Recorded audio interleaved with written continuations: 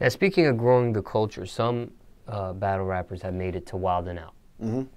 MTV2, MTV Wild 'N Out. Mm-hmm. Um, what's your stance on that? Have you been approached to do it? Have you tried to do it? Nah, nah, nah. I definitely uh Nick Cannon reached out to me um probably like what recently cuz he he did some kind of call out and I just res- I responded to it just playing around but he hit me back and was like, "Nah, you know I do, you know, fuck with your work and everything like that, but I don't think Wild 'N Out is for me per se. You know what I mean? Just because everybody you see, you know, you see clips, kind of Hitman up there, does, and everybody, every other battle rapper want to just jump up there and be on Wild 'N Out, and it's just like, nah, like you gotta know, you can't dance at every party. You know what I mean? Everything ain't, everything ain't for everybody.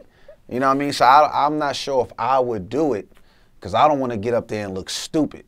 Honestly, you know what I mean? But I think it's definitely dope, especially for the people that is on it. It, it fits them, you know what I mean? And it just, but you know, a lot of pe- the people you see on there most, they kind of shied away from battling.